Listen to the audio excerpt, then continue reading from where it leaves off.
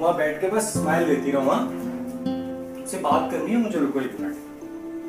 अभी मुझे ऑफ़िस जाना है और ये सारे काम मैं ही करूँ, कपड़े भी मैं ही तय करके रखूँ, है ना? उनको बात करनी है तो रुको स्माइल मत दो ऐसे। एक बात बताओ, ये सारे काम मैं ही करूँगा हाँ? अच्छा सुनो, तुमसे कुछ कहना है। कभी कह ही नहीं पाया। वक्त ही नहीं मिला ना। तुम्हें हमेशा शिकायत रहती थी ना मुझसे कि मैं तुम्हें टाइम नहीं देता, अपने अपने काम में बिज़ी रहता हूँ। लेकिन आज सब कुछ कह दूँगा मैं तुमसे। तुमसे कितना प्यार करता हूँ मैं। क्या समझता हूँ तुम अपनी लाइफ में? तुम्हें याद है आज से चार साल पहले एक नेकलेस लिया था तुमने? और कहा था अपने लाडले देवर की शादी में पहनूँगी। पहन लिया। बोल रही थी, इसे पहन के मैं कितनी सुंदर लगूँगी ना। तुम भी ना। और हाँ वो एक साड़ी जो तुम्हें पसंद आई थी, चार महीने की सेविंग करके ली थी तुमने वो, और वो भी रख दी अपने लाडले देवर की शादी के लिए।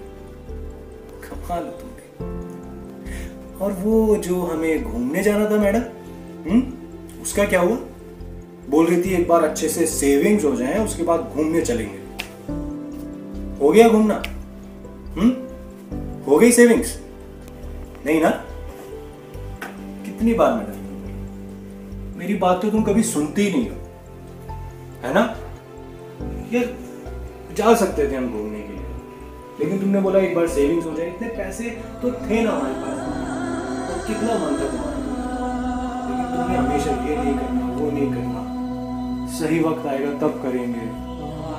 कभी नहीं आता सही वक्त।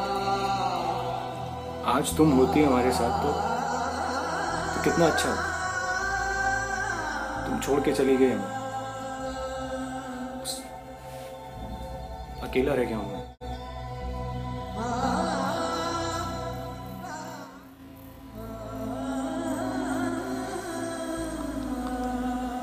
अपनी सारी हसरतें ख्वाहिशें हम आने वाले कल के हाथों में सौंप देते उस पर भरोसा करके। लेकिन कभी कभी ये वक्त धोखा देता है।